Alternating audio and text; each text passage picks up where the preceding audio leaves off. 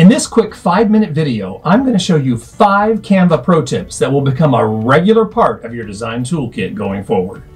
Hi, welcome back to Canva Corner. I'm Matt with WBNL Coaching, and thank you so much for tuning back into the channel.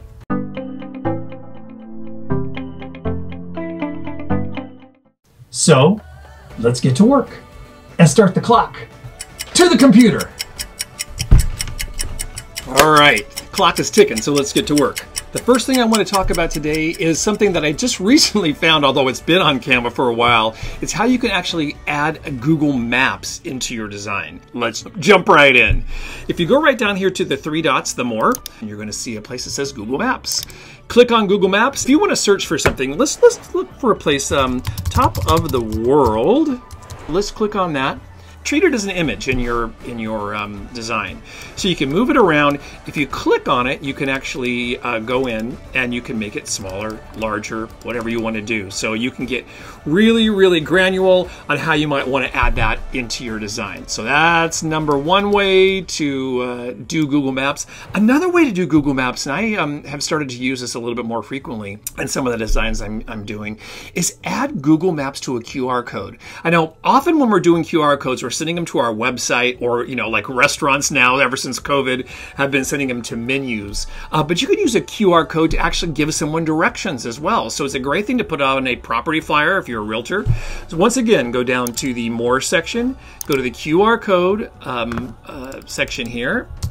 I actually have already um, done this exact same um, Google search for this Google map in uh, for uh, top of the world, and it'll generate a QR code that will take you right to that page on Google Maps.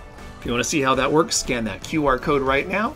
Boom! Take you to top of the world.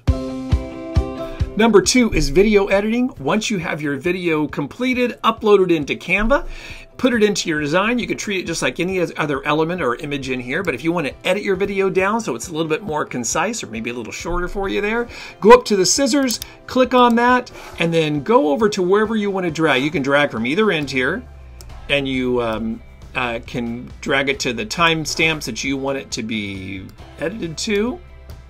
Let's see, we're going to bring this down, just make this a really short little thing here. Click done, and now your video is just a few seconds long. Easy peasy.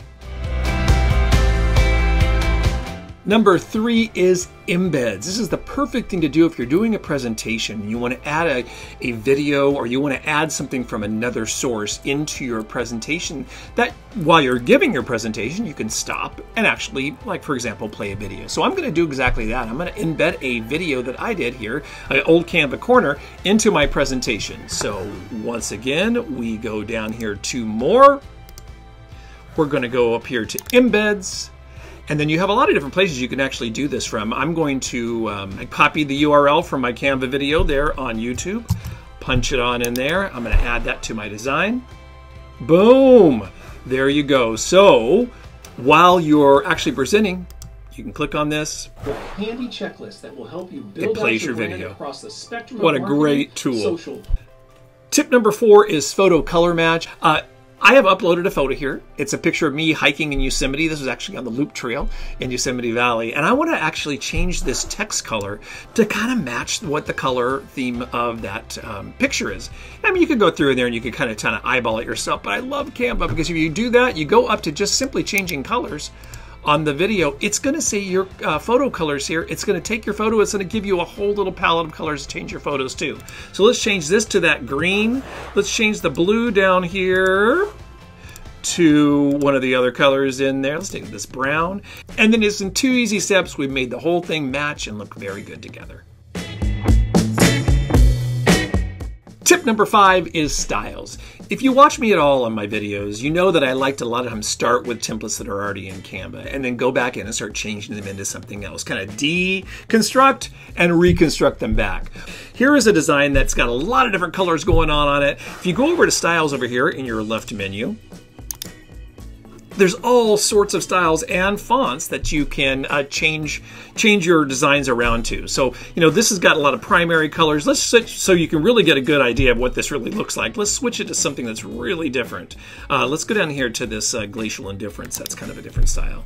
It's going to go in and it's going to change all the colors to the Glacial Indifference palette there. So all those primary colors just went away. If you go back down to Glacial Indifference in your design, there's a little word here called Shuffle. Click on that and it takes the colors and it moves them around right? So you can click, keep clicking till you find something that you kind of like. Now, I kind of like that lighter one in the background, so, you know, I'm just going to stick with this. Obviously, there's a trillion choices in here, like there is with everything in Canva. If you like what you've heard today, make sure that you smash that like button, subscribe to our channel, and hit that notification bell so you don't miss a single video. We'll see you next time in the Canva Corner.